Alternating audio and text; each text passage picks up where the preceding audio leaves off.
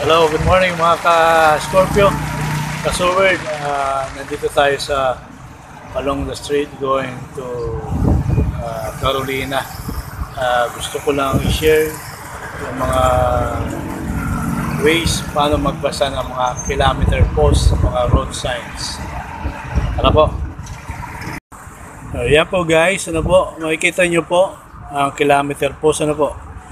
Yung 439 po sa ibaba ng letter K po, ang ibig sabihin po niyan ay uh, 439 kilometers ang layo nitong kilometer post from Manila.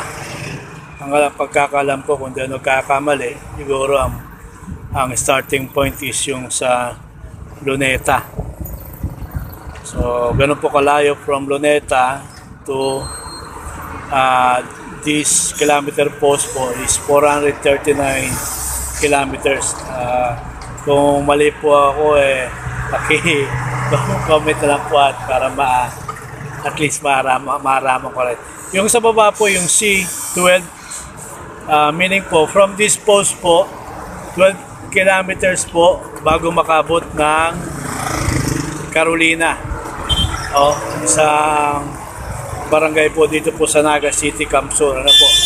12 kilometers bago makarating ng Carolina. Yung sa likod po na kilometer post na yan, yan makikita nyo, parehas po yung ano, yung sa taas, yung number sa baba ng letter K, nakalagay 439 kilometers. From this post po, uh, papunta na Maynila, 439 kilometers ang layo. Tapos yung nasa baba, and tapos may 2, 2 kilometers po bago makarating ng Naga City. Okay po? Sige po. Bye-bye po.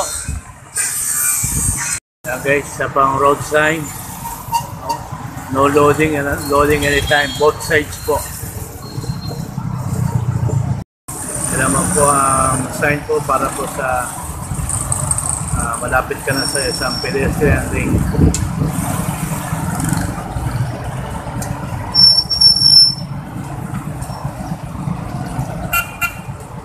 Yan, pedestrian lane. Okay guys, yan na muna po.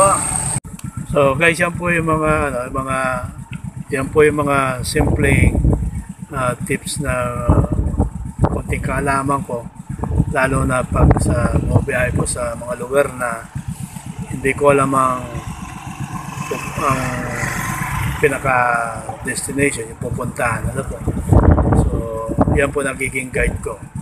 So pagka wala pa ako nakikita ganyan ay nagtatanong na po ako sa mga mga tao na nadadaan ako kung sa inyo lugar o tao na pupunta. So hanggang dito na muna po mga ka-soward mga ka-scorpio. Uh, susunod po ano po uh, paki-like na lang po pa-comment uh, subscribe and share and don't forget the notification bell para updated po tayo sa mga susunod na videos ko at mapanood nyo ang mga uh, mga dati kong videos. So ingat po tayo lagi. God bless us all. Mabalos po